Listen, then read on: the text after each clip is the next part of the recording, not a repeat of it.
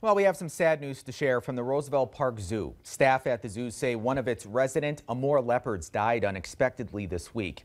The zoo says Anya, a nearly two-year-old leopard, was found dead Wednesday morning by a keeper.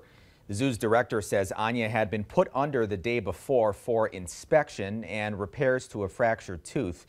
They tried to counter the immobilization and her breathing was fine, but the animal remained groggy. It's unclear if the procedure was connected to Anya's death, and an inspection of her body revealed no apparent cause of death. They did send a tissue sample to a lab to learn more. Amur leopards are critically endangered, and Anya had been paired with a male in hopes that they would soon mate.